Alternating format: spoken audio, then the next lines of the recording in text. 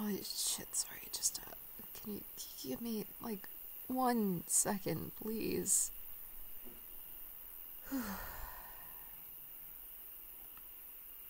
yeah, okay, I'm, uh, I think I'm good now. Sorry about that. I, I really didn't mean to freak you out. Promise. Uh, there was just kind of a frog in my throat. Literally. Uh, you seem a bit less freaked out now, uh, which is good. That's good. I mean, honestly, you're kind of a huge idiot wandering around a place like this at night and expecting not to encounter something.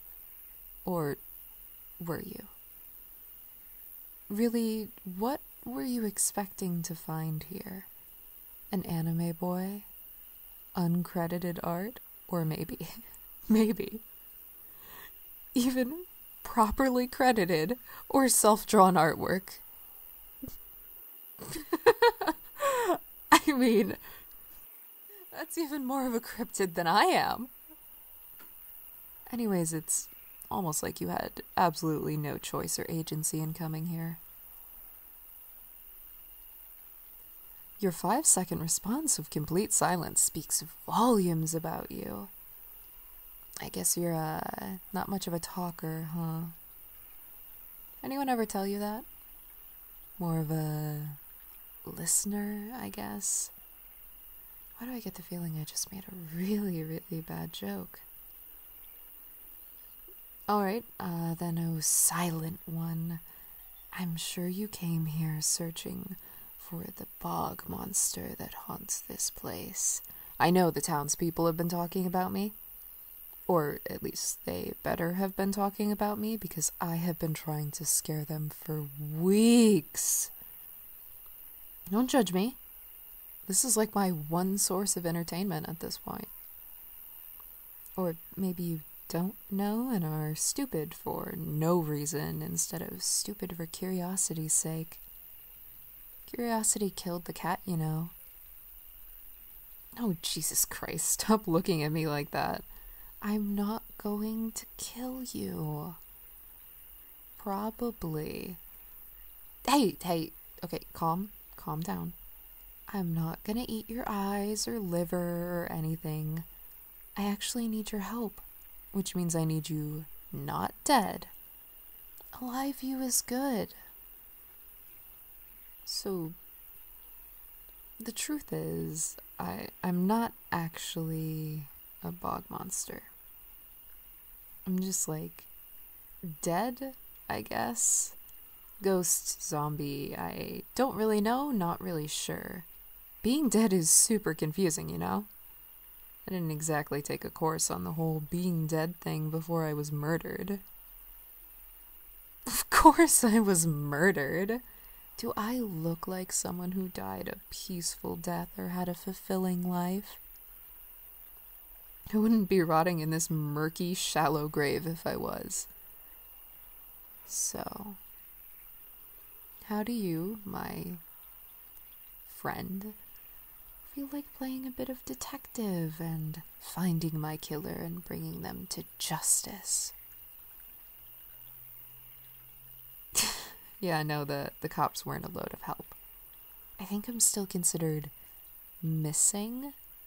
Newsflash, assholes. I'm super fucking dead. Idiots couldn't even find my body. So, hey, you're one step ahead of them already. Good for you. No, I know what you're thinking. Obviously, you should ask me what I know. After all, I'm the victim. I should know everything, right? Easy peasy.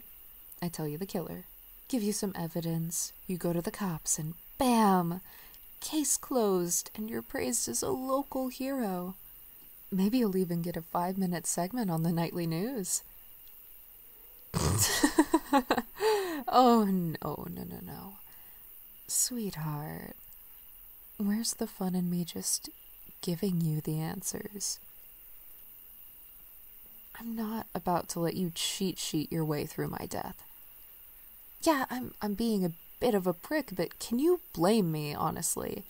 This is the most entertainment I've had in months. I was kind of like this in life, honestly, too. Um, maybe that's why I got murdered. Plus, I don't really know what'll happen if the case gets solved. Like, will my unfinished business or whatever be done? What'll that even be like? A second death? Can you die twice? Do I go to purgatory? Is that place even real? Do I go to hell? uh, anyways, there should really be some sort of manual you get when you die. Be real helpful right about now. Heaven. Oh, oh no, I, I think you have me mixed up. Uh, purgatory, hell, those seem like options for me. Uh, heaven, hmm. Okay. Moving on to start you off, I'll throw you a bone. Not one of mine, obviously. And I'll give you some suspects. I may want to watch you struggle, but I'm not going to throw you in completely blind. I'm not that sadistic. Alright. Got a notepad? Yes, no, maybe so? Too bad. We're diving right in. I'm about to give you your suspect list. Suspects 1 through 3 are some of my exes. The first one is Carter. God, he was hot. Total airhead, though. I ended it because, well, uh, I guess you could say he was a bit two dimensional.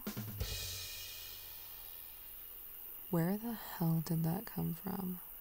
No, no, no, you heard that shit, right? God, I thought I was the scariest thing happening here, but there might be a bad stand up show going on. Whatever. Uh, the second is Eliza. We had a great relationship, really, really good, uh, for a while, until I kinda cheated on her with her twin sister. Which was totally an accident, by the way.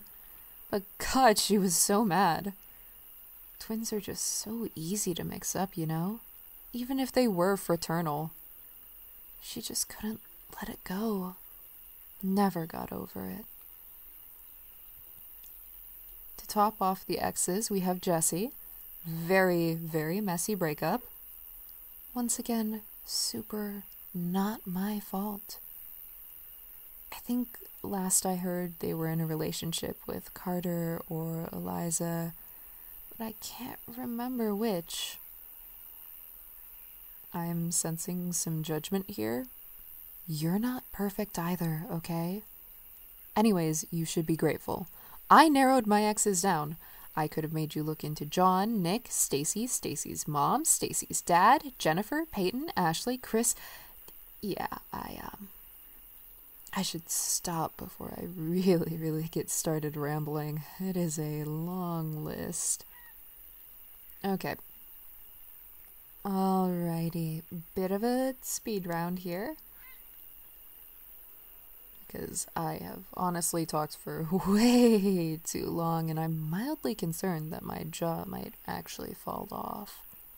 Alice, my ex coworker, who I got fired because she was stealing tips from me, and other people, but she really, really seemed to take issue with me. Uh, my older brother Jason, he has literally always hated me for no reason. I, like, since the day I was born. Lewis, uh, he works at a, a bakery kind of off of Central. The, whatchamacallit, uh, you, you know which one I'm talking about, right? There's only like a few in town. You, you can figure it out. Honestly, I could go on and on with people who had motives, but I really don't feel like listing half the town right now. God, that was a bunch of names, though, right? Um. Oh. Shit, I haven't given you mine, have I? Do you really even deserve it? Uh, whatever. We're going to be working together, so. I am Bo. And no, I will not be telling you what that is short for. because I curse my parents every day of my life. Uh, on life.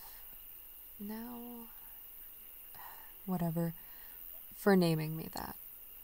Jason gets a normal name, but no, they wanted me to get bullied as a kid. Whatever. I didn't ask your name either yet, did I? Eh, I, I guess I don't really care though, and it's not like you're going to respond anyways. But go ahead, call my bluff. Tell me right now. I'll, I'll even wait for a few seconds.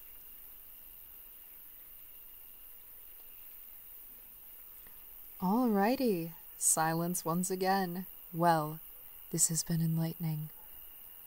I'm going to go put together some spooky messages with sticks to freak out the local fishermen. Report back to me tomorrow, fresh faced and ready to interrogate my possible killers as a complete stranger to both me and them. Bet that'll be real awkward. Anyways, uh, I guess we'll see you later. Partner? Whatever. Just show back up tomorrow.